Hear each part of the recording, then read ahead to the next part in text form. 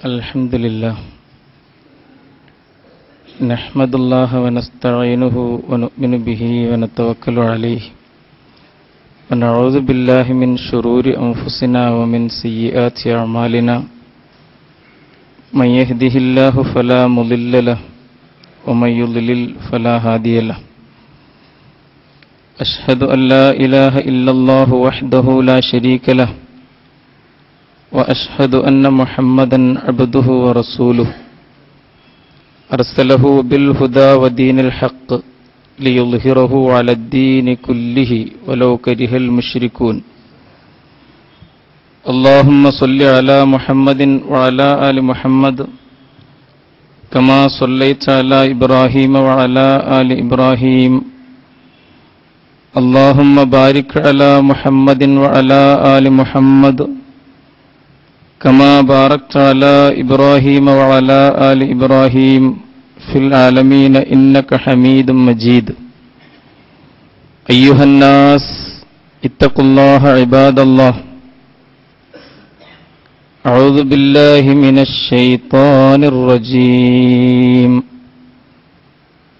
بسم الله الرحمن الرحيم.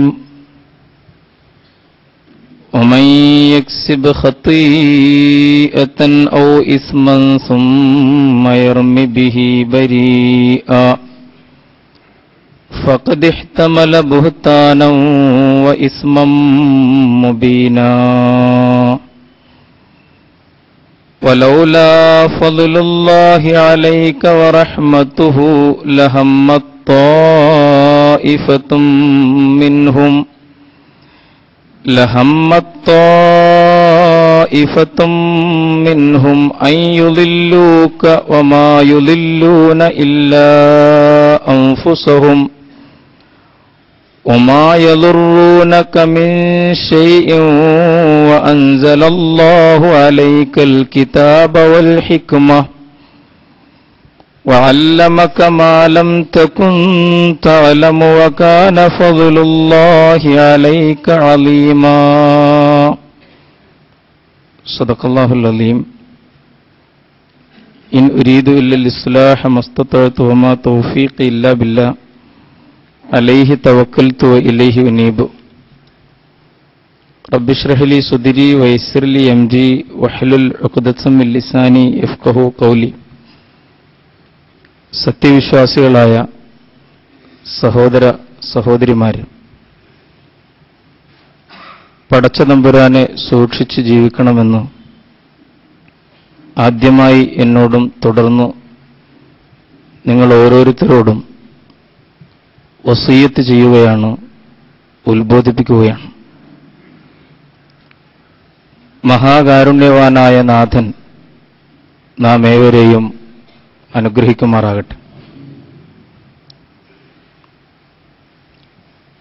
എനിക്ക് ഭയമുള്ള ഏക ജന്തു മനുഷ്യനാണ്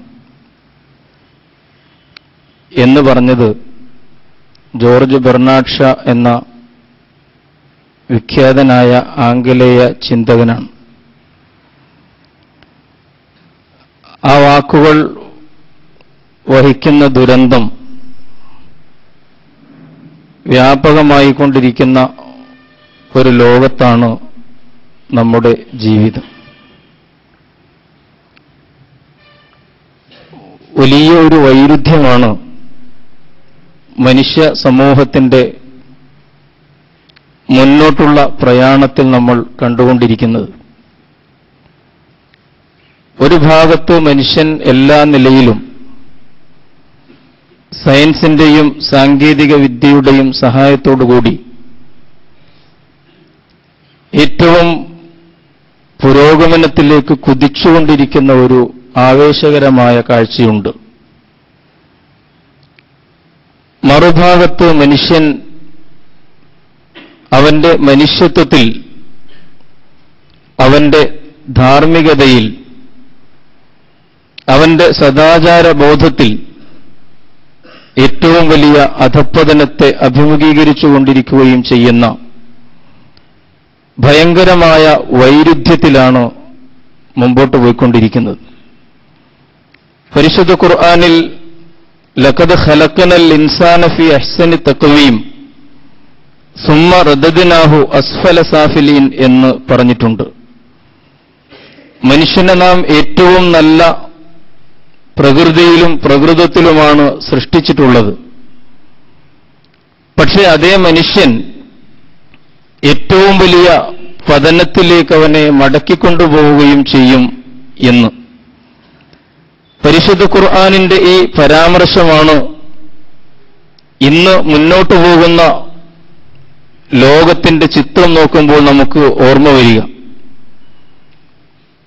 ആകാശലോകത്ത് പക്ഷികളെപ്പോലെ പറവകളെപ്പോലെ പറന്നു നടക്കാൻ പ്രയാസമില്ലാത്ത ഒരു മനുഷ്യനാണ് ഈ കാലഘട്ടത്തിൽ ജീവിക്കുന്നത്. ആകാശ ആകാശനീലിമയിൽ പക്ഷികളെപ്പോലും വിസ്മയിപ്പിക്കുന്ന രീതിയിൽ പറന്നുയരാൻ കഴിയുന്ന മനുഷ്യൻ. ആകാശലോകത്ത് മാത്രമല്ല സമുദ്രത്തിൽ ആഴിയുടെ ആഴങ്ങളിൽ മത്സ്യക്കൂട്ടങ്ങളെ അമ്പരപ്പിക്കുമാർ നീന്തിത്തുടിക്കുവാൻ ശാസ്ത്രത്തിന്റെയും സാങ്കേതിക വിദ്യയുടെയും സഹായത്തോടെ സാധിക്കുന്ന ഒരു മനുഷ്യനാണ് ഇന്ന് ജീവിച്ചുകൊണ്ടിരിക്കുന്നത്. ഈ അടുത്ത ദിവസങ്ങളിൽ മാധ്യമങ്ങളിൽ നമ്മൾ കണ്ടു നമ്മുടെ ജെയിംസ് കാമറൂൺ ഭൂമുഖത്തെ ഏറ്റവും ആഴമുള്ള സമുദ്രത്തിലെ ഏറ്റവും അഗാധമായ സ്ഥലത്ത് പോയി തിരിച്ചു വന്നു എന്ന വാർത്ത. പസഫിക് സമുദ്രത്തിലെ മറീന ട്രഞ്ച് എന്ന് പറയുന്ന ഏറ്റവും ആഴമുള്ള സ്ഥലത്ത് ഒറ്റയ്ക്ക് പോയി അദ്ദേഹം അടിത്തട്ട് മുത്തമിട്ട് ചിത്രങ്ങൾ പകർത്തി തിരിച്ചു വന്നു എന്നാണ്. പതിനൊന്ന് കിലോമീറ്റർ ആഴത്തിൽ ഡീപ് സീ ചാലഞ്ചർ എന്ന് പറയുന്ന ഒരു പ്രത്യേക വാഹനം രൂപകൽപ്പന ചെയ്ത് രണ്ട് മണിക്കൂർ കൊണ്ട് അദ്ദേഹം അവിടെ എത്തുകയും മൂന്ന് മണിക്കൂർ ആ കടലിന്റെ അടിത്തട്ടിൽ ചെലവഴിക്കുകയും അപൂർവങ്ങളായ ചിത്രങ്ങൾ പകർത്തി തിരിച്ചെത്തുകയും ചെയ്തു. അങ്ങനെ ചരിത്രത്തിൽ മറീന ട്രഞ്ച് ഒറ്റയ്ക്ക് കീഴ്പ്പെടുത്തിയ ആദ്യത്തെ മനുഷ്യൻ എന്ന റെക്കോർഡ് അദ്ദേഹം സ്വന്തമാക്കിയെന്നാണ് ഞാൻ സൂചിപ്പിക്കുന്നത് മനുഷ്യൻ. ആകാശങ്ങളിൽ പക്ഷികളെപ്പോലെ പറക്കാനും സമുദ്രത്തിൽ മത്സ്യങ്ങളെപ്പോലെ നീന്തിത്തുടിക്കുവാനും കഴിയുന്ന പുരോഗതിയുടെ പാരമ്യത്തിലെത്തി നിൽക്കുന്ന മനുഷ്യനെയാണ് നമ്മൾ കാണുന്നത്. ഇങ്ങനെ സാഹസികമായി ഉയരങ്ങളും ആഴങ്ങളും കീഴടക്കിക്കൊണ്ടിരിക്കുന്ന അതേ മനുഷ്യൻ തന്നെ. മറുഭാഗത്ത് നമ്മൾ കാണുന്നത് ഞാൻ നേരത്തെ സൂചിപ്പിച്ചതുപോലെ മനുഷ്യൻ എന്ന നിലയിൽ മനുഷ്യത്വത്തിന്റെ വിഷയത്തിൽ ഏറ്റവും വലിയ പരാജയം നേരിട്ടുകൊണ്ടിരിക്കുകയാണ്. മനുഷ്യത്വം മരിച്ചുകൊണ്ടിരിക്കുന്ന ഒരു കാലഘട്ടത്തിലാണ് നമ്മുടെ ജീവിതം. ഇന്ന് ലോകം അഭിമുഖീകരിക്കുന്ന ഏറ്റവും വലിയ പ്രതിസന്ധി എന്ത് എന്ന് ചോദിച്ചാൽ ഒറ്റ വാക്കിൽ നമുക്ക് ഉത്തരം പറയാൻ കഴിയും. അത് അപമാനവീകരണത്തിന്റെ പ്രശ്നമാണ്. എന്ന് പറഞ്ഞാൽ മനുഷ്യൻ മനുഷ്യനല്ലാതായിക്കൊണ്ടിരിക്കുന്നതിന്റെ ദുരന്തമാണ് പ്രശ്നമാണ്. ഒരുപക്ഷെ ലോകം ഇന്ന് അഭിമുഖീകരിച്ചുകൊണ്ടിരിക്കുന്ന ഏറ്റവും വലിയ ദുരന്തം. മറ്റൊരു മനുഷ്യന്റെ വേദന കാണുമ്പോൾ അതിൽ വേദന തോന്നാത്ത ഒരു മനുഷ്യൻ അതാണ് ഈ ഭൂമുഖത്തെ ഏറ്റവും വലിയ ദുരന്തം എന്ന് പറയുന്നത്. മഹത്തുക്കളായ പണ്ഡിതന്മാർ ചൂണ്ടിക്കാണിച്ചിട്ടുണ്ട് തെരുവിലൊരു മനുഷ്യജീവൻ പിടയുന്നത് കാണുമ്പോൾ നിങ്ങളുടെ ഉള്ളിൽ ഒരു പിടച്ചിലുണ്ടാകുന്നുവെങ്കിൽ അതിനാണ് മനുഷ്യത്വം എന്ന് പറയുന്നത്. അഥവാ നിർവികാരനായി നിസ്സംഗതയോടുകൂടി തിരിച്ചു പോകാൻ നിങ്ങൾക്ക് കഴിയുമെങ്കിൽ മനസ്സിലാക്കണം അത് അപമാനവീകരണമാണ്. അഥവാ മനുഷ്യത്വത്തിൽ നിന്ന് നിങ്ങൾ അധപ്പതിച്ചുകൊണ്ടിരിക്കുന്നു എന്നാണ് മനസ്സിലാക്കേണ്ടത്. ആലോചിച്ചു നോക്കൂ മറ്റൊരു മനുഷ്യനെ പീഡിപ്പിക്കുമ്പോൾ ഉപദ്രവിക്കുമ്പോൾ അതിൽ ആനന്ദിക്കുകയും സന്തോഷിക്കുകയും ചെയ്യുന്ന ഒരു മനസ്സ് സാഡിസത്തിന്റെ ഒരു മനസ്സ് ലോകവ്യാപകമായി വളർന്നുകൊണ്ടിരിക്കുകയാണ്.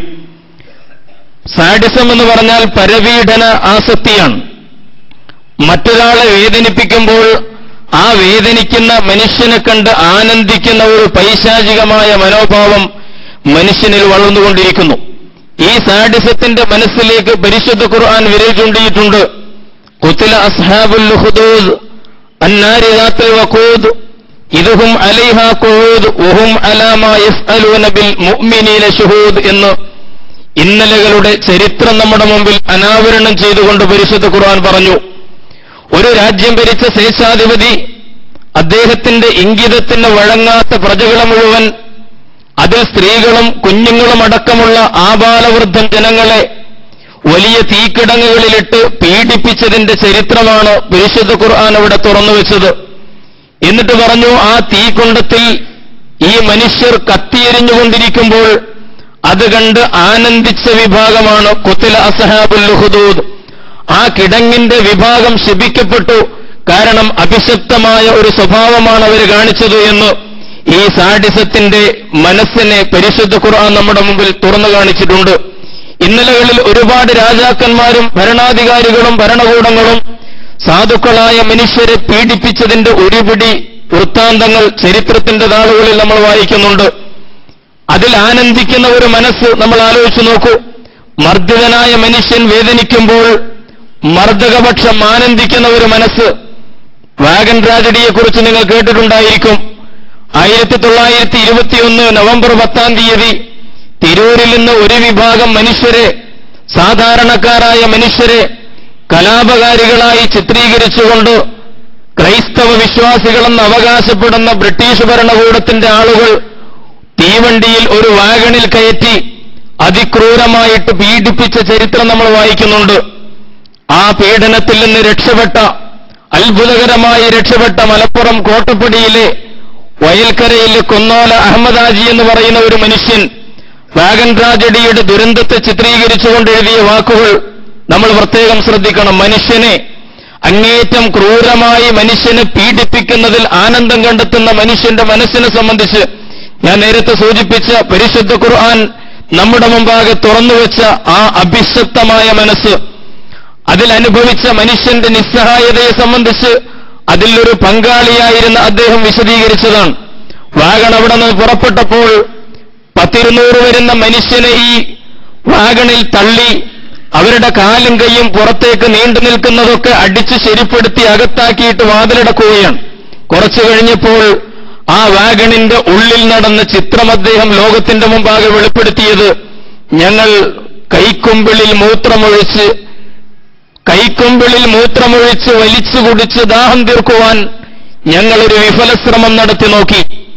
ആണാടിനെ പോലെ സഹോദരന്റെ ശരീരത്തിൽ പൊടിഞ്ഞ വിയർപ്പ് കണങ്ങൾ നക്കിത്തോർത്തി നോക്കി ഞങ്ങൾ.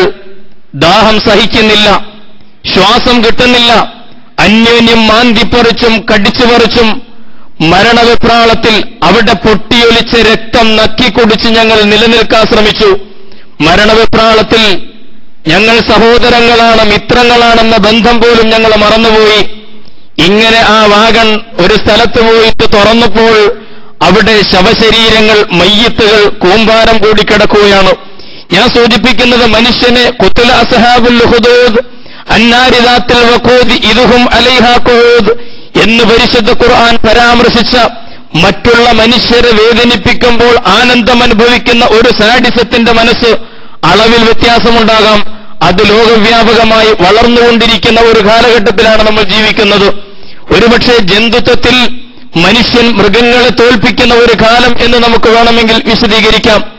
ഹിരോഷിമയിലും നാഗസാക്കിയിലും വിയറ്റ്നാമിലും കൂടി എഴുപതിനായിരം ടണ്ണ് ബോംബ് വർഷിച്ച് ആ തീനാളങ്ങൾ കൊണ്ട് മനുഷ്യ തലമുറകളെ നക്കിത്തുടച്ച പിശാചുക്കളുടെ പിന്മുറക്കാർ തന്നെയാണ് ഇന്നും ഈ ഉത്തരാധുനിക ലോകം ഭരിച്ചുകൊണ്ടിരിക്കുന്നത് എന്ന് നമ്മൾ അറിയേണ്ടതുണ്ട്. ഇപ്പോഴും സാമ്രാജ്യത്വം അതിന്റെ നശീകരണത്തിന്റെ ആ പ്രവണത ഇന്നും പ്രകടിപ്പിച്ചുകൊണ്ടിരിക്കുന്നു. നമുക്കറിയാം അവസാനമായി ഇറാനെ ആക്രമിക്കാനുള്ള ന്യായങ്ങളാണ് സാമ്രാജ്യത്വത്തിന്റെ ആസൂത്രണങ്ങൾ നടക്കുന്ന കൊട്ടാരങ്ങളിൽ രൂപം കൊള്ളുന്നത് എന്ന് നമ്മൾ അറിയേണ്ടതുണ്ട്. ഈ അടുത്ത കാലത്ത് ഞാനൊരു സി ഡി കണ്ടു. ടേസ് ഓഫ് ഗസ എന്ന് പറഞ്ഞുകൊണ്ട് ഗസയിൽ ഈ സാമ്രാജ്യത്വ ശക്തികൾ സയനിസ്റ്റ് ശക്തികൾ ഇസ്രയേൽ നടത്തിയ ഭീകരമായ കിരാതമായ ആക്രമണങ്ങളെ സംബന്ധിച്ചും അവിടുത്തെ മനുഷ്യരെ പീഡിപ്പിച്ചതിനെ സംബന്ധിച്ചും അതിൽ വിവരണങ്ങളില്ല. ഒരു സിനിമയോ ചിത്രമോ ഒന്നുമല്ല. അവിടെ നടന്ന ഈ സംഭവങ്ങളെ പകർത്തി വെച്ചിരിക്കുകയാണ്. അതിന്റെ ഇരകളുമായിട്ടുള്ള അഭിമുഖങ്ങൾ മാത്രമാണ് ഈ സി ഡിയിലുള്ളത് ടീയേഴ്സ് ഓഫ് ഗസ ഗസയുടെ കണ്ണുനീർ എന്ന് പറഞ്ഞുകൊണ്ട് കണ്ടിരിക്കാൻ പ്രയാസമാണ്. കുഞ്ഞുങ്ങളുടെ വാക്കുകൾ കേട്ടിരിക്കാൻ പ്രയാസമാണ്. സമീഹുൽ കസാം എന്ന് പറയുന്ന ഫലസ്തീനിലെ കവി പറഞ്ഞല്ലോ ഞങ്ങളുടെ കുഞ്ഞുങ്ങൾ ഞങ്ങൾ ഫലസ്തീനികളുടെ കുഞ്ഞുങ്ങൾ ജനിച്ചു വരുമ്പോൾ അവർക്ക് വേണ്ടി തയ്യാറാക്കപ്പെടുന്നതും കിട്ടുന്നതും എന്താണെന്നറിയുമോ? നിങ്ങളുടെ കുഞ്ഞുങ്ങൾ ജനിച്ചു വരുമ്പോൾ അവർക്ക് കുഞ്ഞുടുപ്പുകളും കളിപ്പാട്ടങ്ങളും സമ്മാനമായി കിട്ടുമ്പോൾ ഞങ്ങളുടെ കുഞ്ഞുമക്കൾക്ക് കളിപ്പാട്ടമായി കിട്ടുന്നത് ഒരു ശവം പുടവ മാത്രമാണ് ഒരു മയ്യത്ത് പുടവ മാത്രമാണ്. ഒരു യാത്ര പുറപ്പെടുമ്പോൾ വെള്ളമെടുത്ത് വാഹനത്തിൽ വെക്കാൻ പറയുന്നത് പോലെ ഞങ്ങൾ ഈ ശവപ്പുടവയും എടുത്തു വെക്കാൻ പറയുന്ന ഒരു കാലഘട്ടത്തിലാണ് ജീവിച്ചുകൊണ്ടിരിക്കുന്നത്. ഞാൻ സൂചിപ്പിക്കുന്നത് മനുഷ്യൻ ക്രൂരതകളുടെ ഇന്നലകളെ അതിനേക്കാൾ വലിയ അതിക്രൂരതകളുടെ ഇന്നുകൾ സൃഷ്ടിച്ചുകൊണ്ട് മുന്നോട്ടു പോകാൻ ശ്രമിക്കുന്ന ഒരു കാലഘട്ടത്തിലാണ് നമ്മൾ ജീവിക്കുന്നത്. ഇവിടെ ബന്ധങ്ങളില്ല ആർക്കും കടപ്പാടുകളില്ല ആരോടും പണവും സുഖവും അധികാരവും മതി എല്ലാവർക്കും എന്ന ഒരു സ്ഥിതിയിലേക്ക് ലോകം മാറിക്കൊണ്ടിരിക്കുകയാണ്. പ്രബുദ്ധ സമൂഹങ്ങൾ വിദ്യാസമ്പന്നമായ സമൂഹങ്ങൾ മാറിക്കൊണ്ടിരിക്കുകയാണ്. മലയാളിയുടെ ജീവിതം എത്ര മാറിപ്പോയി? ഞാൻ വിശദീകരിക്കേണ്ടതില്ലല്ലോ നമുക്കൊക്കെ അറിയാം. പത്രമാധ്യമങ്ങളിലൂടെ ഒന്ന് കടന്നുപോയാൽ മതി. ഓരോ ദിവസവും നമുക്ക് വായിക്കാൻ കഴിയാത്ത വാർത്തകൾ ഹൃദയാഘാതമുണ്ടാക്കുന്ന വാർത്തകളുടെ പ്രവാഹമാണല്ലോ സംഭവിച്ചുകൊണ്ടിരിക്കുന്നത്. സഹപാഠിനിയെ കൂട്ടബലാത്സംഗം നടത്തി ചവച്ചുതുപ്പുന്നതിന്റെ വാർത്തകൾ ഇന്ന് നമ്മളെ സംബന്ധിച്ചിടത്തോളം ഒരു പുത്തരിയല്ലാതായി മാറിയിരിക്കുകയാണ്. പിഞ്ചു പൈതങ്ങളെ ആസിഡ് ഒഴിച്ച് പൊള്ളിച്ച് തെരുവോരത്ത് യാചിക്കാൻ കിടത്തി അങ്ങനെ വരുമാനമുണ്ടാക്കുന്ന മാഫിയകൾ ഈ കേരളത്തിൽ സജീവമാണെന്ന് നമ്മൾ വാർത്തകളിൽ വായിച്ചുകൊണ്ടിരിക്കുകയാണ്. താൻ നൊന്തുവിറ്റ കുഞ്ഞിന് ഇരുന്നൂറ് രൂപ വിലയിട്ട് വിൽക്കാൻ ശ്രമിക്കുന്ന അമ്മമാർ ഈ രാജ്യത്തുമുണ്ട് എന്ന് നമ്മൾ പത്രദ്വാര അറിഞ്ഞുകൊണ്ടിരിക്കുകയാണ്. പിറന്നയുടനെ പെൺകുഞ്ഞാണെന്നറിയുമ്പോൾ ആ പെൺകുഞ്ഞിനെ ആശുപത്രി മുറിയിലെ ക്ലോസറ്റിലിട്ട് കടന്നുകളയുന്ന അമ്മമാരും ഈ വാർത്തകളിൽ നിറയുന്നത് നമ്മൾ വായിക്കുന്നുണ്ട്. വിശദീകരിക്കേണ്ടതില്ലല്ലോ. എത്രയെത്ര ഹൃദയഭേദകമായ വാർത്തകളാണ് നമ്മൾ വായിച്ചുകൊണ്ടിരിക്കുന്നത്. കാമപ്പേക്കൂത്തിന് വേണ്ടി സ്വന്തം പെൺമക്കളെ തന്നെ പ്രാപിക്കുന്ന പുരുഷന്മാര് പിതാക്കന്മാർ ഈ രാജ്യത്ത് പുത്തരിയല്ലാതായി മാറിക്കൊണ്ടിരിക്കുന്ന ഒരു കാലഘട്ടത്തിൽ വിശദീകരിക്കേണ്ടതില്ല. ഏറ്റവും ലേറ്റസ്റ്റായി ഈ രണ്ടു മൂന്ന് ദിവസങ്ങൾക്കുള്ളിൽ എന്തുമാത്രം ഹൃദയത്തിൽ നടുക്കമുണ്ടാക്കുന്ന വാർത്തകളിലൂടെയാണ് നമ്മൾ കടന്നുപോയത്. സെൽവയുടെയും അസ്രീനിന്റെയും മനസ്സ് അവരുടെ മുഖങ്ങൾ നമ്മുടെ ഉള്ളിൽ നിന്ന് മായുന്നില്ലല്ലോ. സെൽവ എന്ന് പറയുന്ന നമ്മുടെ ജില്ലയിൽ തന്നെയാണല്ലോ ഘാതുകമായ ദാരുണമായ ആ സംഭവം നടന്നത്. എട്ട് വയസ്സുള്ള മദ്രസയിൽ പഠിക്കുന്ന കൊച്ചു പെൺകുട്ടി ആ കുട്ടി അതിന്റെ കൂട്ടുകാരിയുടെ വീട്ടിലേക്ക് വിളിക്കാൻ ചെല്ലുമ്പോൾ അതിന്റെ ക്രൂരനായ ഉപ്പ അങ്ങേയറ്റം പൈശാചികമായി പീഡിപ്പിച്ച് കൊലപ്പെടുത്തിയ ദാരുണമായ വാർത്ത നമ്മൾ വായിക്കുകയുണ്ടായി. എന്തിനിതൊക്കെ വിശദീകരിക്കണം? നമുക്കൊക്കെ അറിയുന്ന കാര്യമാണ്. പലപ്പോഴും ഈ വാർത്തകളിലൂടെ നിസ്സംഗതയോടെ നിർവികാരതയോടെ ഞാനും നിങ്ങളും കടന്നുപോവുകയും പത്രം അടക്കി വെച്ചൊരു നെടുവീർപ്പോടുകൂടി എഴുന്നേറ്റ് പോവുകയും ചെയ്യുന്ന ഒരു കാലഘട്ടമാണ്. ഇന്നലെ ബാംഗ്ലൂരിൽ ഒരു മരണം നടന്നു. ബാംഗ്ലൂരിലെ ഒരു ഗവൺമെന്റ് ആതുരാലയത്തിൽ മൂന്ന് മാസം പ്രായമായ ഒരു പിഞ്ചുകുഞ്ഞ് അഫ്രീന്റെ മനസ്സ് നമ്മുടെ ആ- ആ കുട്ടിയുടെ ജീവിതം വിശദീകരിക്കേണ്ടതില്ലല്ലോ. ഇതൊക്കെ സംഭവിച്ചുകൊണ്ടിരിക്കുന്നത് കേവലം പിന്നെ മുസ്ലിം നാമധാരികളായ മുസ്ലിം നാമധാരികളായ പിതാക്കന്മാരാണ് എന്നുകൂടി നമ്മൾ ഓർക്കേണ്ടതുണ്ട്. ജനിച്ചത് പെൺകുഞ്ഞായി പോയതിന്റെ പേരിൽ ആൺകുഞ്ഞിനെ പ്രതീക്ഷിച്ച ഈ പിതാവ് പെൺകുഞ്ഞ് ജനിച്ചതിന്റെ പേരിൽ ജനിച്ചു വീണ ഈ പിഞ്ചു പൈതലിന് മൂന്ന് മാസം പ്രായമായ ഈ കുഞ്ഞിനെ അതിക്രൂരമായിട്ട് പീഡിപ്പിച്ചു എന്നാണ്. തല ഭിത്തിയിലിടിച്ചുകൊണ്ട് താൻ വലിച്ചുകൊണ്ടിരിക്കുന്ന സിഗരറ്റിന്റെ കത്തുന്ന അഗ്രഭാഗം കൊണ്ട് ആ കുഞ്ഞിന്റെ ശരീരത്തിൽ പൊള്ളലേൽപ്പിച്ചുകൊണ്ട് എന്തെല്ലാം എന്തെല്ലാം ക്രൂരതകളാണ് പൈശാചികതകളാണ് അയാൾ ചെയ്തത് എന്ന് മാധ്യമങ്ങളിലൂടെ നമ്മൾ വായിക്കുകയാണ്. അബ്ദുൽ നാസർമാരും ഉമറുൽ ഫാറൂഖുമാരുമാണ് എന്ന് നമ്മൾ അറിയേണ്ടതുണ്ട്. അറബി പേരുള്ള ഒരാൾക്കൂട്ടം ഈ മനുഷ്യത്വത്തിന്റെ ഈ സാഡിസത്തിന്റെ കാര്യത്തിൽ മനുഷ്യത്വമില്ലാതായി പോകുന്ന ഈ അപമാനവീകരണത്തിന്റെ ദുരന്തത്തിൽ വളരെ വളരെ മുമ്പിലാണ് എന്ന് അങ്ങേയറ്റത്തെ ഖേദത്തോടുകൂടി നമ്മൾ ഓർക്കേണ്ടതുണ്ട്. ഞാൻ വിശദീകരിക്കുന്നില്ല. ഇതുപോലെ ഒരുപിടി വാർത്തകളുണ്ട്. എന്തുകൊണ്ടിങ്ങനെ സംഭവിക്കുന്നു എന്ന് നമ്മൾ ചിന്തിക്കണം. സത്യവിശ്വാസികളെ സംബന്ധിച്ചിടത്തോളം പരിശുദ്ധ ഖുർആാനിന്റെയും തിരുസന്നത്തിന്റെയും വെളിച്ചത്തിൽ ജീവിതം നിർമ്മിച്ചെടുക്കാൻ ആഗ്രഹിക്കുന്ന വിശ്വാസികളുടെ സമാജം അങ്ങേയറ്റത്തെ ഗൗരവത്തിൽ ആലോചിക്കേണ്ടതുണ്ട്. എന്തുകൊണ്ടിങ്ങനെ സംഭവിക്കുന്നു? ഒരു ഭാഗത്ത് ഞാൻ നേരത്തെ പറഞ്ഞല്ലോ ആഴിയുടെ ആഴങ്ങളും ആകാശത്തിന്റെ ഉയരങ്ങളും കീഴടക്കിക്കൊണ്ടിരിക്കുന്ന സാഹസികനായ മനുഷ്യൻ സയൻസിന്റെയും ടെക്നോളജിയുടെയും സഹായത്തോടുകൂടി പുരോഗതിയുടെ പാരമ്യത്തിലെത്തി നിൽക്കുന്ന ഇതേ മനുഷ്യൻ തന്നെയാണ് അധപ്പതനത്തിന്റെ ഏറ്റവും വലിയ ആഴിയിലേക്ക് പോകുന്നത് എന്ന് നമ്മൾ അറിയണം. എന്തുകൊണ്ടിങ്ങനെ സംഭവിക്കുന്നു? മനുഷ്യൻ സ്വയം തിരിച്ചറിയുന്നില്ല എന്നതാണ് മൗലികമായ കാരണം. താൻ ആരാണ് എന്ന് തിരിച്ചറിയുവാൻ താൻ ആരാണെന്ന വിഷയത്തിൽ ആത്മാർത്ഥമായി ഒരു അന്വേഷണം നടത്തുവാൻ പലരും പലപ്പോഴും അവൻ സന്നദ്ധനാകുന്നില്ല. മനുഷ്യനാരാണ് എന്ന കാര്യത്തിൽ ഒരുപാട് തെറ്റിദ്ധരിപ്പിക്കലുകൾ ഇവിടെ നടന്നിട്ടുണ്ട്. ആത്മീയവാദങ്ങളും ഭൗതികവാദങ്ങളും മനുഷ്യനെ തെറ്റിദ്ധരിപ്പിച്ചിട്ടുണ്ട്. മനുഷ്യനാരാണ് എന്ന ചോദ്യത്തിന് അവർ പലപ്പോഴും തെറ്റായ മറുപടികളാണ് പറഞ്ഞത്. നമുക്കറിയാമല്ലോ ആരാണ് മനുഷ്യൻ എന്ന ചോദ്യം നിസ്സാരമായ ഒരു ചോദ്യമല്ല. ഒരു വലിയ തത്വചിന്തകൻ പറഞ്ഞ ഒരു വാചകമാണ് ഞാൻ നോക്കുന്നത് ഡാനിഷ് തത്വചിന്തകനായ സോറൻ കീർക്കേകാർ എന്ന് പറയുന്ന ഒരു ഫിലോസഫർ അദ്ദേഹം ഒരു ദിവസം തെരുവിലൂടെ നടന്നു പോകുമ്പോൾ എതിരെ വന്ന ഒരു സാധാരണക്കാരൻ അദ്ദേഹത്തോട് ചോദിച്ചു നിങ്ങൾ ആരാണ് എന്ന്. സോറൻ കീർക്കേകാർ പിന്നെ എഴുതിയത് ഞാൻ എന്റെ ജീവിതത്തിൽ അഭിമുഖീകരിച്ച ഏറ്റവും വലിയ ചോദ്യം അതായിരുന്നു. ആ ചോദ്യത്തിന്റെ മുമ്പിൽ എനിക്ക് ഉത്തരമുണ്ടായിരുന്നില്ല. ദാർശനികനായി ഞാൻ പതറിപ്പോയ ഒരു ചോദ്യമാണ് ആരാണ് നിങ്ങൾ? എന്ന ചോദ്യം. ആരാണ് മനുഷ്യൻ? എവിടെ നിന്നാണ് അവൻ വന്നത്? എങ്ങോട്ടാണ് അവൻ പോകുന്നത്? എന്താണ് ഭൂമുഖത്ത് അവന്റെ നിയോഗം? എന്ന ചോദ്യം. പ്രിയമുള്ളവരെ വളരെ ഗൗരവത്തിൽ നമ്മൾ മനസ്സിലാക്കണം. ആത്മീയവാദങ്ങൾ തെറ്റായ പാഠങ്ങൾ പഠിപ്പിച്ചു. മനുഷ്യനെന്ന് പറഞ്ഞാൽ ദൈവമാണെന്നും ദൈവത്തിന്റെ അവതാരമാണെന്നും മനുഷ്യനെ തെറ്റിദ്ധരിപ്പിച്ചത് ഇവിടെ നിലനിൽക്കുന്ന വ്യാജ ആത്മീയവാദങ്ങളായിരുന്നു എന്ന് നമ്മൾ അറിയേണ്ടതുണ്ട്. ആണുങ്ങളും പെണ്ണുങ്ങളും അടങ്ങുന്ന മനുഷ്യ ദൈവങ്ങളെക്കുറിച്ച് ഒരുപിടി അവരെ പൂജിക്കേണ്ടതുണ്ട് ആരാധിക്കേണ്ടതുണ്ട് എന്ന് പഠിപ്പിക്കുന്ന ഒരുപാട് ആത്മീയവാദങ്ങൾ. സ്വാമി ദയാനന്ദ സരസ്വതിയെ പോലുള്ള വലിയ ചില പണ്ഡിതന്മാർ ഹൈന്ദവ പണ്ഡിതന്മാർ പറഞ്ഞിട്ടുണ്ട് വളരെ കൃത്യമായി സമർത്ഥിച്ചിട്ടുണ്ട്. ദൈവം തമ്പുരാന് ഒരിക്കലും അങ്ങനെ മനുഷ്യന്റെ അവതാരത്തിൽ വരികയെന്ന കാര്യം സംഭവ്യമല്ല. അതൊരിക്കലും സാധ്യമായ ഒരു കാര്യമല്ല. ദൈവത്തിന് അതിന്റെ ആവശ്യവുമില്ല എന്ന് അദ്ദേഹം യുക്തിഭദ്രമായിട്ട് സമർത്ഥിച്ചിട്ടുണ്ട്. യൻദുറൂന ഇല്ല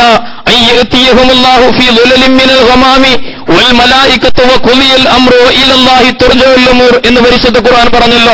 ആകാശലോകത്ത് നിന്ന് പടച്ച തമ്പുരാൻ മാലാഖമാരുടെ അകമ്പടിയോടെ ഭൂമിയിലേക്ക് ഇറങ്ങി വന്നുകൊണ്ട് കാര്യങ്ങൾ നടത്തും എന്നവർ പ്രതീക്ഷിക്കുകയാണോ? അത്തരം അവതാരങ്ങൾ ഉണ്ടാവുകയില്ല.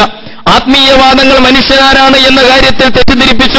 അതുപോലെ തന്നെ ഭൗതികവാദങ്ങൾ. മനുഷ്യനെന്ന് പറഞ്ഞാൽ കേവലം ഒരു പദാർത്ഥം മാത്രമാണ്. ഏറിയാൽ പുരോഗമിച്ച ഒരു മൃഗം മാത്രമാണ് എന്ന് ലോകത്തെ പഠിപ്പിച്ചത് ഈ ഭൗതികവാദങ്ങളായിരുന്നു എന്ന് നമുക്കറിയാം. ഏഴ് കഷ്ണം സോപ്പിനുള്ള എണ്ണ ഏഴ് പെൻസിൽ ഉണ്ടാക്കാൻ വേണ്ട കാർബൺ നൂറ്റി ഇരുപത് തീപ്പെട്ടിക്കോൽ ഉണ്ടാക്കാനുള്ള ഫോസ്ഫറസ് ഒരിടത്തരം ആണി ഉണ്ടാക്കാനുള്ള ഇരുമ്പ് ഒരു കോഴിക്കോടിന് വെള്ളപൂശാൻ മാത്രമുള്ള ചുണ്ണാമ്പ് ഒരൽപ്പം മെഗ്നീഷ്യൻ സാട്ടും ഗന്ധകവും പത്തിയാലൻ വെള്ളവും ചേർന്നാൽ അതാണ് മനുഷ്യനെന്ന് ലോകത്തെ തെറ്റിദ്ധരിപ്പിച്ചത്. ഈ ഭൗതികവാദങ്ങളായിരുന്നു സയൻസിന്റെ പേരിൽ എന്ന് നമ്മൾ തിരിച്ചറിയേണ്ടതുണ്ട്. മനുഷ്യനെന്ന് പറഞ്ഞാൽ കേവലം പുരോഗമിച്ച ഒരു മൃഗം മാത്രമാണ് എന്ന്. ഇങ്ങനെ മനുഷ്യനാരാണ് എന്ന ചോദ്യത്തിന് ഒരുപിടി തെറ്റായ ഉത്തരങ്ങൾ നൽകി അങ്ങനെ തെറ്റായ ഉത്തരങ്ങളിൽ ജീവിക്കുന്ന മനുഷ്യൻ ഈ ലോകത്തെ ഏറ്റവും വലിയ ദുരന്തങ്ങൾ സമ്മാനിച്ചുകൊണ്ടിരിക്കുകയാണ് പരിശുദ്ധ ഖുർആൻ അടക്കമുള്ള വേദഗ്രന്ഥങ്ങളിലേക്ക് തിരിഞ്ഞു നോക്കുവാൻ മനുഷ്യന് സാധിക്കേണ്ടതുണ്ട്. അതാണ് അവരുടെ കണ്ണാടി എന്ന് പറയുന്നത്. പരിശുദ്ധ ഖുർആൻ അടക്കമുള്ള ദൈവിക വേദഗ്രന്ഥങ്ങളാണ് മനുഷ്യന് നോക്കാനുള്ള കണ്ണാടി. ആ കണ്ണാടിയുടെ മുമ്പിൽ സ്വന്തത്തെയും ജീവിതത്തെയും തിരിച്ചറിയുവാൻ തീർച്ചയായും മനുഷ്യന് സാധിക്കേണ്ടതുണ്ട്. അവിടെ കൃത്യമായി പഠിപ്പിച്ചിട്ടുണ്ട് മനുഷ്യന്റെ സ്ഥാനം എന്താണ് എന്ന്. ഇന്നി ജാഹിലുൻ ഫിൽ അർലി ഖലീഫ. ഭൂമുഖത്ത് നാം നിന്നെ ഒരു ഖലീഫയാക്കി മനുഷ്യനെ നാം ഒരു പ്രതിനിധിയാക്കി നിശ്ചയിച്ചു എന്ന് പരിശുദ്ധ ഖുർആൻ അടക്കമുള്ള വേദഗ്രന്ഥങ്ങൾ പഠിപ്പിക്കുന്നു. ഈ ഹിദായത്തും ഖിലാഫത്തും മനുഷ്യൻ സ്വീകരിക്കണം. ഈ ഹിദായത്തും ഖിലാഫത്തും മനുഷ്യൻ സ്വീകരിക്കണം. മനുഷ്യൻ ഈ ഭൂമുഖത്ത് അള്ളാഹുവിന്റെ ഖലീഫയായിട്ട് പുലരണം. എങ്ങനെയാണ് അവൻ ഖലീഫയായി ജീവിക്കേണ്ടത്. പ്രിയമുള്ളവരെ മനുഷ്യന് നൽകപ്പെട്ട ഏറ്റവും ഉദാത്തമായ പദവിയാണ് അള്ളാഹുവിന്റെ ഖലീഫ എന്ന് പറയുന്ന സ്ഥാനം. അള്ളാഹുവിന്റെ പ്രതിനിധി. അവൻ മൃഗമല്ല അവൻ ദൈവമല്ല അവൻ മാലാഖയല്ല അവൻ പിശാചുമല്ല അവൻ അള്ളാഹുവിന്റെ ഖലീഫയാണെന്ന് പരിശുദ്ധ ഖുർആൻ പഠിപ്പിക്കുന്നു. എങ്ങനെയാണ് അവൻ ഖിലാഫത്ത് പൂർത്തീകരിക്കേണ്ടത്? പടച്ചവന്റെ കൽപ്പനകൾ അനുസരിച്ചുകൊണ്ടും അള്ളാഹുവിന്റെ ഗുണങ്ങൾ അനുകരിച്ചുകൊണ്ടുമാണ് മനുഷ്യനെ ഖിലാഫത്തിന്റെ ജീവിതത്തിൽ മുന്നോട്ടു പോകേണ്ടത്. പടച്ചതമ്പുരാന്റെ ഗുണനാമങ്ങൾ ഒരുപിടി പരിശുദ്ധ ഖുർആാനിലും തിരുസുന്നത്തിലും കാണാം. ഈ ഗുണനാമങ്ങൾ ഓരോന്നും അള്ളാഹുവിന്റെ മഹത്തായ ഗുണനാമങ്ങൾ ഓരോന്നും ഇസ്ലാം മുന്നോട്ട് വെക്കുന്ന മഹത്തായ മൂല്യങ്ങളാണ്. ഈ മൂല്യങ്ങളുടെ പ്രതിനിധിയായി ഈ മൂല്യങ്ങളുടെ ഖലീഫയായി മനുഷ്യൻ ഈ ഭൂമുഖത്ത് പുലരണം എന്നാണ് പരിശുദ്ധ ഖുർആൻ പറയുന്നത്. ആ അള്ളാഹുവിന്റെ ഗുണനാമങ്ങളിൽ സുപ്രധാനമായ ചിലത് നമുക്കറിയാമല്ലോ അടിസ്ഥാന മൂല്യങ്ങൾ എന്ന് പറയുന്നത്. കാരുണ്യവും നീതിയും അതിലേറ്റവും പ്രധാനപ്പെട്ടതാണ്. അള്ളാഹു കാരുണ്യവാനാണെങ്കിൽ മനുഷ്യ നീയും കാരുണ്യത്തിന്റെ ഖലീഫയായി മാറണം എന്ന് പരിശുദ്ധ ഖുർആൻ പഠിപ്പിക്കുന്നു. അള്ളാഹു നീതിമാനാണെങ്കിൽ ആ നീതിയുടെ പ്രതിനിധിയായി നീയും മാറണമെന്ന് പരിശുദ്ധ ഖുർആൻ അടക്കമുള്ള വേദഗ്രന്ഥങ്ങൾ പഠിപ്പിക്കുന്നു. പ്രിയമുള്ളവരെ ഞാൻ സൂചിപ്പിക്കുന്നത് ഈ ഹിദായത്തും ഖിലാഫത്തും സ്വീകരിച്ചുകൊണ്ട് മനുഷ്യൻ മുന്നോട്ട് പോകാൻ തീരുമാനിക്കുമ്പോൾ മാത്രമേ ഈ ഭൂമിയിൽ സ്വസ്ഥതയും ശാന്തതയും ഉണ്ടാകൂ എന്ന് തിരിച്ചറിയുവാൻ നമുക്ക് സാധിക്കേണ്ടതുണ്ട്. ഈ അടിസ്ഥാന മൂല്യങ്ങളിൽ മൂല്യങ്ങളുടെ മൂല്യമെന്ന് പറയാവുന്ന കാരുണ്യം അള്ളാഹുവിന്റെ റഹമത്ത് വിശദീകരിക്കേണ്ടതില്ലല്ലോ. അള്ളാഹുവിന്റെ റസൂൽ പറഞ്ഞു അറാഹിമൂന റഹ്മാൻ കാരുണ്യവാൻ കരുണ ചൊരിയുന്നത് കാരുണ്യത്തെ അനന്തരമെടുത്ത ഈ മനുഷ്യർക്കാണ്. ഇർഹമു മൻഫിൽ അറു അതുകൊണ്ട് ഭൂമുഖത്തുള്ള മനുഷ്യരോട് ഭൂമുഖത്തുള്ളവരോട് മുഴുവൻ കരുണയോടുകൂടി നിങ്ങൾ പെരുമാറൂ. ഇറഹമുക്കും മൻഫിസമാൾ അപ്പോൾ ഉപരിലോകത്തുള്ളവൻ നിങ്ങളോടും കരുണ കാണിക്കുമെന്ന് ഇൻസാൻ എന്ന് പറഞ്ഞാൽ തന്നെ അറബി ഭാഷയിൽ ഇസ്ലാമിന്റെ പദാവലിയിൽ ഇൻസാൻ എന്നാണ് മനുഷ്യന് പറയുക. അനിസയിൽ നിന്നാണ് ഇൻസാൻ എന്ന വാക്കുണ്ടായത്. അനിസ എന്ന് പറഞ്ഞാൽ ഇണങ്ങി എന്നാണ് അർത്ഥം. സഹവർത്തിത്വത്തിലായി എന്നാണ് അർത്ഥം. ഇണങ്ങേണ്ടവനാണ് ഇണങ്ങി ജീവിക്കേണ്ടവനാണ് മറ്റുള്ളവരുമായി പൊരുത്തപ്പെട്ട് ജീവിക്കേണ്ടവനാണ് മനുഷ്യൻ എന്നാണ് പറയുന്നത്. അതാണ് മനുഷ്യത്വം ഇൻസാനീയത്ത് എന്ന് പറയുന്നത്. ഇൻസാനിൽ നിന്ന് ഈ ഇൻസാനീയത്ത് ഇല്ലാതായിക്കൊണ്ടിരിക്കുന്നു എന്നതാണ് ഈ കാലഘട്ടം നേരിടുന്ന ദുരന്തമെന്ന് നമ്മൾ അറിയണം. അതുപോലെ തന്നെ സുപ്രധാനമായ രണ്ടാമത്തെ മൂല്യമാണ് നീതി എന്ന് പറഞ്ഞാൽ റബ്ബ് സുബാനഹൂവത്താല നീതിമാനാണ് എന്ന് ഖുർആൻ പഠിപ്പിക്കുന്നു. ഈ അതിലിന്റെ ഖലീഫയായി മനുഷ്യൻ മാറണം. ഈ നീതിബോധത്തിന്റെ പ്രതിനിധിയായി മനുഷ്യൻ ജീവിതത്തിൽ പെരുമാറണം. അവന്റെ വാക്കുകളിലും അവന്റെ പെരുമാറ്റങ്ങളിലും അവന്റെ നിലപാടുകളിലും അവന്റെ പ്രവർത്തനങ്ങളിലും ഈ ദൈവിക നീതിയുടെ പ്രതിനിധാനമായിരിക്കണം മനുഷ്യൻ നിർവഹിക്കേണ്ടത്. ഞാൻ വിശദീകരിക്കേണ്ടതില്ലല്ലോ. ഖുർആാനിലും സുന്നത്തിലും ഒരുപിടി നീതിയുടെ അധ്യാപനങ്ങളുണ്ട്. സംസാരിക്കുമ്പോൾ നീതി പുലർത്തണം. നിങ്ങൾക്ക് ആരോടെങ്കിലുമുള്ള പ്രത്യേകമായ താൽപര്യങ്ങളും ഇഷ്ടങ്ങളും അവിടെ സ്വാധീനം ചെലുത്തരുത് എന്ന് പ്രത്യേകമായിട്ട് എടുത്തു പറഞ്ഞു. യാ അയ്യുഹല്ലദീന ആമനു കൂമു കൗവാമീന ബിൽ കിസ്തി ശുഹദാലില്ല അള്ളാഹുവിന് സാക്ഷികളായിക്കൊണ്ട് നീതിയുടെ നീതിയുടെ കൊടിവാഹകരായി നിങ്ങൾ മാറണം എന്ന് പരിശുദ്ധ ഖുർആൻ ആവശ്യപ്പെടുന്നു. നിങ്ങൾ നീതിയുടെ വക്താക്കളും പ്രയോക്താക്കളുമായാൽ പോരാ നീതിയെ ഉയർത്തിപ്പിടിക്കുന്ന നീതിയുടെ ധ്വജവാഹകരായി കൗവാമുകളായി നിങ്ങൾ മാറണമെന്ന് പരിശുദ്ധ ഖുർആൻ നമ്മെ പഠിപ്പിക്കുന്നു. ആ നീതിക്ക് എന്തുമാത്രം സ്ഥാനമുണ്ടെന്ന് പ്രവാചകന്റെ ജീവിതം പരിശോധിച്ചാൽ നമുക്ക് ബോധ്യമാകും. സൂറത്തു നിസായിലെ നൂറ്റി പന്ത്രണ്ട് മുതലുള്ള വചനങ്ങളൊന്ന് പരിശോധിച്ചു നോക്കുക. ഒരു സന്ദർഭത്തിൽ അള്ളാഹു സുബാനഹുത്താല പരിശുദ്ധ ഖുർആാനിൽ ഒരു വിഷയത്തിൽ ഇടപെട്ടുകൊണ്ട് അവതരിപ്പിച്ച സൂക്തങ്ങളാണ് നമ്മൾ കണ്ണു തുറക്കേണ്ടതുണ്ട്. നീതിബോധത്തിന്റെ പ്രാധാന്യത്തെ സംബന്ധിച്ച്. സംഭവം എന്താണെന്ന് ചോദിച്ചാൽ ഒരു മനുഷ്യൻ അദ്ദേഹം ഒരു ആളുടെ പടയെങ്കി മോഷിച്ചു ഒരു മുസ്ലിമായ മനുഷ്യൻ തുഴമത്തുബിന് ഉപയിരിക്കെന്ന് പറയുന്ന ഒരാൾ വേറൊരു മുസ്ലിമായ മനുഷ്യന്റെ പടയെങ്കി മോഷിച്ചു പിടിക്കപ്പെടുമെന്നായപ്പോൾ ഇത് കൊണ്ടുപോയിട്ടൊരു ജൂതന്റെ വീട്ടിൽ വെച്ചു. ഒരു കൗശലം കാണിച്ചു. രക്ഷപ്പെടാൻ വേണ്ടി ആ സന്ദർഭത്തിൽ വിചാരണക്ക് വരുമ്പോൾ പ്രവാചകൻ സല്ലല്ലാഹു അലൈഹി വസല്ലമ്മ ജൂതനോട് ചോദിക്കുന്നു. അപ്പോൾ അദ്ദേഹം മറുപടി പറഞ്ഞിട്ടുണ്ട് മുഹമ്മദെ ഞാനല്ല എടുത്തത്. ഞാനിതിൽ നിരപരാധിയാണ്. ഞാൻ നിരപരാധിയാണ്. മാ സറത്തുഹായ അബുൽ ഖാസിം. ഒലാക്കിൻ തുരിഹത്താലയ്യ എന്നെ കൊടുക്കാൻ വേണ്ടി ആരോ കൊണ്ടുവന്ന് എന്റെ വീട്ടിൽ വെച്ചതാണ്. നമ്മൾ ആലോചിക്കണം. വിഭാഗീയമോ സാമുദായികമോ വർഗീയമോ ആയ ഒരു സമീപനം പരിശുദ്ധ ഖുർആാനിന്റെയും പ്രവാചകന്റെയും ഭാഗത്ത് നിന്ന് ഉണ്ടാകാൻ പാടില്ല. അത് ലോകത്തിന് തെറ്റായ സന്ദേശം നൽകും. അതുകൊണ്ട് ഏറ്റവും മൈന്യൂട്ടായ ഏറ്റവും സൂക്ഷ്മമായ നീതി നിർവഹണമാണ് പ്രവാചകൻ സൊല്ലാഹു അലൈഹി വസ്ലം ലോകത്തിന് കാഴ്ചവെക്കേണ്ടത്. അപ്പോൾ വിചാരണ നടക്കുകയാണ്. ഈ ജൂതൻ പറഞ്ഞു എന്റെ വീട്ടിൽ ആരോ കൊണ്ടുവന്നിട്ടതാണ്. അപ്പോൾ ഉടനെ മുസ്ലിങ്ങൾ പറഞ്ഞു പ്രവാചകരെ ഇവൻ കള്ളം പറയുകയാണ്.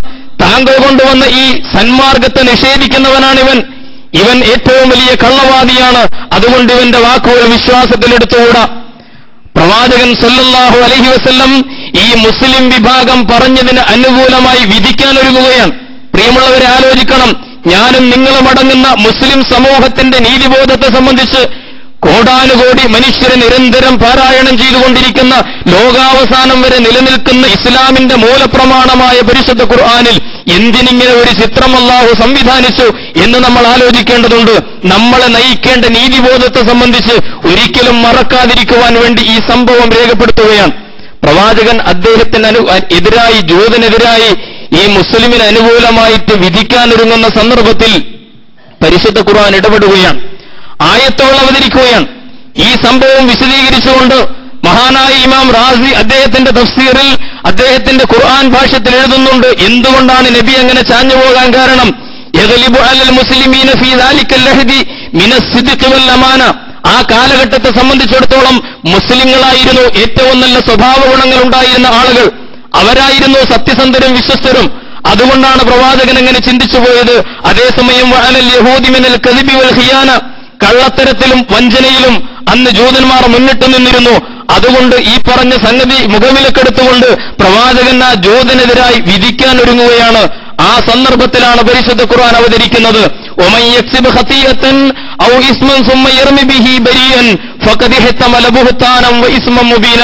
ഞാൻ ഖുതുബയുടെ ആമുഖത്തിൽ പാരായണം ചെയ്ത സൂക്തങ്ങൾ റബ്ബു തആല പറയുന്നു ആരെങ്കിലും ഒരു തെറ്റോ കുറ്റമോ ചെയ്തിട്ട് നിരപരാധിയായ ഒരു മനുഷ്യന്റെ തലയിൽ കെട്ടിവെക്കാൻ ശ്രമിച്ചാൽ അവൻ ഏറ്റവും ഗുരുതരമായ പാപവും തെളിഞ്ഞ കുറ്റവുമാണ് അവൻ ചെയ്തുകൊണ്ടിരിക്കുന്നത്. അവൻ കുറ്റവാളിയാണെന്ന് പരിശുദ്ധ ഖുർആൻ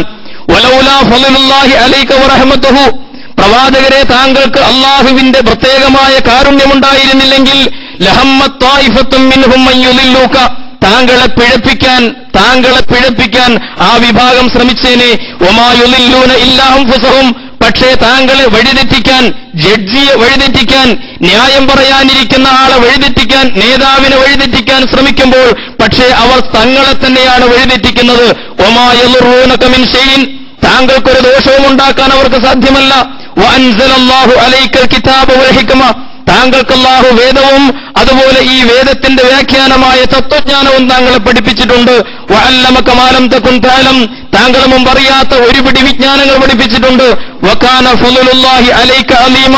തീർച്ചയായും അള്ളാഹു താങ്കളുടെ മേൽ ചെറിഞ്ഞ ഔദാര്യം എന്ന് പറയുന്നത് ആ ശ്രേഷ്ഠത എന്ന് പറയുന്നത് തീർച്ചയായും മഹത്തായ ഔദാര്യമാണ് എന്ന് പരിശുദ്ധ ഖുർആൻ ഇടപെട്ടുകൊണ്ട് ഈ കേസിന്റെ വിധി തീർപ്പിൽ പ്രവാചകനെ നയിച്ച സംഭവം പരിശുദ്ധ ഖുർആാനിൽ ഉദ്ധരിക്കുകയാണ്. പ്രിയമുള്ളവരെ വളരെ ഗൗരവത്തിൽ ശാന്തമായി നമ്മൾ ആലോചിക്കേണ്ട വിഷയമാണ്.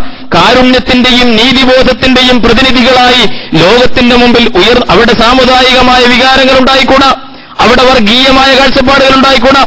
എനിക്കിഷ്ടമുള്ള ആളെ സംബന്ധിച്ച് എനിക്ക് താല്പര്യമുള്ള ആളെ സംബന്ധിച്ച് ആ കാര്യം സാധിച്ചെടുക്കാൻ വേണ്ടി വക്രഭാഷണം നടത്തിക്കൂടാ നീതിബോധം കളഞ്ഞു കുളിച്ചുകൂടാ എന്ന് വളരെ ഗൗരവത്തിൽ ഖുർആൻ നമുക്ക് മുന്നറിയിപ്പ് നൽകുകയാണ്. ഈ നീതിയും കരുണയും നമ്മുടെ രണ്ട് കണ്ണുകൾ പോലെ മാറേണ്ടതുണ്ട് വിശ്വാസികളെ സംബന്ധിച്ചിടത്തോളം. അള്ളാഹുവിന്റെ ഗുണങ്ങൾ ഓരോന്നും ആ ഗുണങ്ങളുടെ ഖിലാഫത്തായി മനുഷ്യന്റെ ജീവിതം മാറേണ്ടതുണ്ട്. ഞാൻ വിശദീകരിക്കേണ്ടതില്ലല്ലോ. അനീതിയിൽ കെട്ടിപ്പടുത്ത ഒരു ലോകത്താണ് നമ്മൾ ജീവിക്കുന്നത്. അത് ആഗോളതലം മുതൽ ഏറ്റവും പ്രാദേശികമായ തലം വരെ എവിടെയും അനീതിയുടെ തേറുവാഴ്ചയാണ് നമ്മൾ കണ്ടുകൊണ്ടിരിക്കുന്നത്. ഈ അടുത്ത കാലത്ത് ഒരു വലിയ കവി നോബൽ സമ്മാനമൊക്കെ കിട്ടിയ ഒരു കവി ഒരു കവിത എഴുതി നമ്മളൊക്കെ മാധ്യമങ്ങളിലൂടെ അതറിയുകയുണ്ടായി. ഗുന്ദർഗ്രാസ് എന്ന് പറയുന്ന ജർമ്മനിയിൽ ഇരുന്നു കൊണ്ട് നോബൽ സമ്മാനം നേടിയ ആ കവി എഴുതിയത് ഇസ്രയേൽ ഫലസ്തീന് നേരെ കാണിച്ചുകൊണ്ടിരിക്കുന്ന ക്രൂരതയെ സംബന്ധിച്ചാണ് വളരെ ശ്രദ്ധേയമായ ആ കവിതയിൽ വാട്ട് മസ്റ്റ് ബി സെഡ് എന്ന് തലക്കെട്ട് കൊടുത്ത ഇനി പറയാതെ വയ്യ എന്ന് പറഞ്ഞുകൊണ്ട് അദ്ദേഹം why do I stay silent conceal for too long എന്ന് പറഞ്ഞുകൊണ്ട് അദ്ദേഹത്തിന്റെ വരികൾ എന്തിന് ഞാൻ ഇനിയും മൗനം പാലിക്കണം? എന്തിന് ഞാൻ മിണ്ടാതിരിക്കണം? ഇവിടെ നടക്കുന്നത് നഗ്നമായ നീതി നിഷേധമാണ് എന്ന് പറഞ്ഞുകൊണ്ട് ജർമ്മനിയിൽ ഇന്ന് ഗുന്തർഗ്രാസുമാർ കവിത എഴുതുന്ന കാലഘട്ടമാണ് എന്ന് നമ്മൾ അറിയേണ്ടതുണ്ട്. നീതിക്ക് വേണ്ടി പൊരുതുവാനും മുമ്പിൽ നിൽക്കുവാനും സത്യവിശ്വാസികളുടെ സമൂഹത്തിന് സാധിക്കേണ്ടതുണ്ട് എന്നാണ് ഞാൻ സൂചിപ്പിക്കുന്നത്. അങ്ങനെ മാത്രമേ അള്ളാഹുവിന്റെ ഹിതായത്തും അള്ളാഹുവിന്റെ ഖിലാഫത്തും ഏറ്റുവാങ്ങിക്കൊണ്ട് മാത്രമേ ഭൂമിയിൽ സ്വസ്ഥതയും ശാന്തിയും ഉണ്ടാക്കുവാൻ മനുഷ്യ സമൂഹത്തിന് മുന്നോട്ടു പോകുവാൻ മനുഷ്യത്വത്തെ വീണ്ടെടുക്കുവാൻ മരിച്ചുകൊണ്ടിരിക്കുന്ന മനസ്സാക്ഷിയെ വീണ്ടെടുക്കുവാൻ ഈ അപമാനവീകരണം എന്ന് പറയുന്ന മനുഷ്യൻ മനുഷ്യനല്ലാതാകുന്ന ഏറ്റവും വലിയ ഈ ദുരന്തത്തിൽ നിന്ന് മനുഷ്യ സമൂഹത്തിന് മോചനം നേടാൻ സാധ്യമാകൂ എന്ന് തിരിച്ചറിയുവാൻ നമുക്ക് സാധിക്കേണ്ടതുണ്ട്. കാര്യങ്ങൾ പരിശുദ്ധ ഖുർആാനിന്റെയും തിരുസുന്നത്തിന്റെയും വെളിച്ചത്തിൽ തിരിച്ചറിയുവാനുള്ള തൗഫീഖ് തന്ന് അള്ളാഹു നമ്മെ അനുഗ്രഹിക്കുമാറാകട്ടെ.